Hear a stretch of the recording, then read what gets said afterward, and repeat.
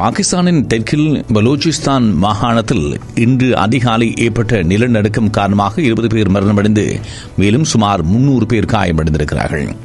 குவெட்டா நகரத்துக்கு கிழக்கில் நூற்றி இரண்டு கிலோமீட்டர் தொலைவில் மையம் கொண்ட இந்த நிலநடுக்கம் ரிக்டர் அளவில் ஐந்து தசம் ஏழாக பதிவு செய்யப்பட்டதாக அமெரிக்க பூகப்பிரவியல் ஆய்வு நிறுவனம் தெரிவித்துள்ளது.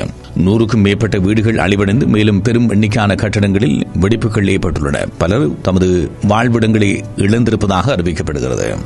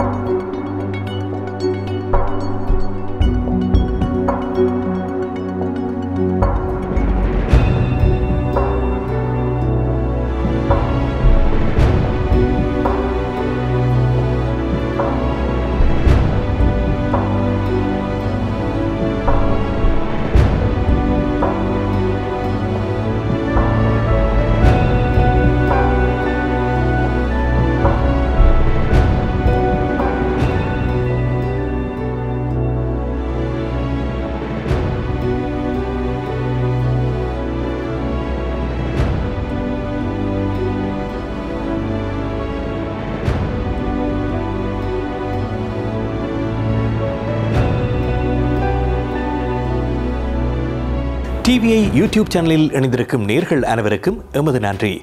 எமது காணொளி தொகுப்புகளை தொடர்ந்து நீங்கள் பார்வையிடுவதற்கு கீழிருக்கின்ற பெல் பட்டனை அழுத்துவதனூடாக நோட்டிஃபிகேஷனில் பல காணொளி தொகுப்புகள் உடனுக்குடன் உங்களை வந்து சேரும்.